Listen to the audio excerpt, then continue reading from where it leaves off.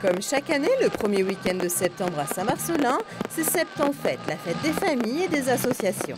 Alors il s'agit en fait de fêter la rentrée, poursuivre un petit peu l'esprit des vacances, dans un, un état de convivialité, un esprit de fête populaire et familiale.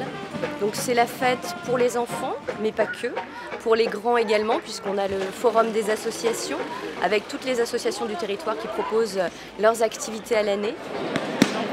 C'est un rendez-vous incontournable, effectivement, où il y a de plus en plus de monde. Donc, euh, ça nous permet de rencontrer les anciens. C'est un lieu d'échange.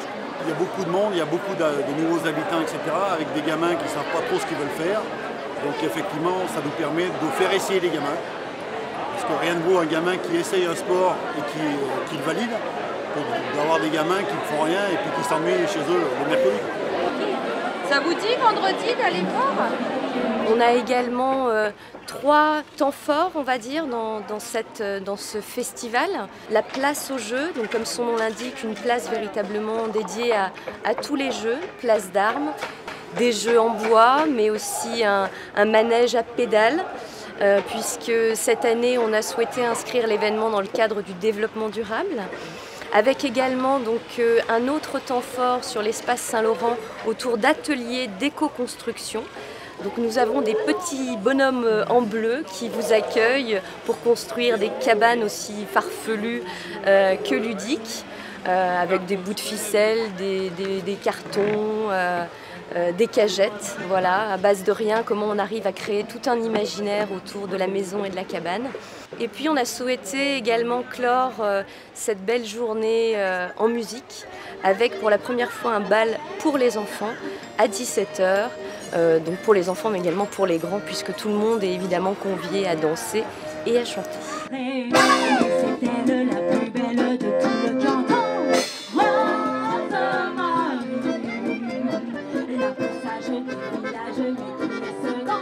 Cette année, l'association des commerçants Cœur de Commerce a souhaité participer à ce week-end de fête en organisant une braderie.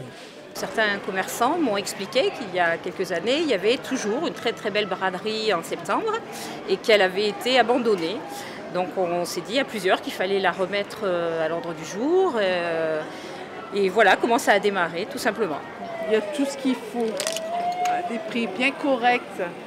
C'est super. Les Saint-Marcinois sont très contents et sont très contents aussi que le centre-ville revive.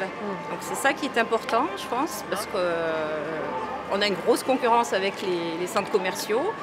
Et on a ici des infrastructures euh, superbes, un centre-ville charmant, et on a envie de le faire continuer euh, à vivre.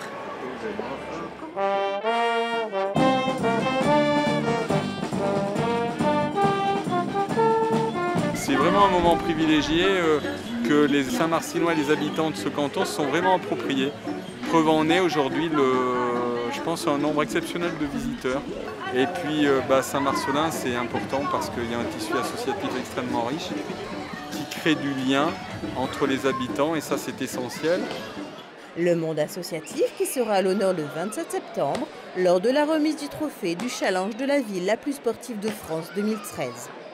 C'est la reconnaissance du travail qui a été fait euh, de longue date par euh, toutes les associations, tous les bénévoles, les éducateurs, l'implication des sportifs dans ce, ce monde sportif, les municipalités euh, successives et puis euh, notre municipalité qui effectivement depuis 1995 a beaucoup euh, fait pour renforcer, accompagner encore plus.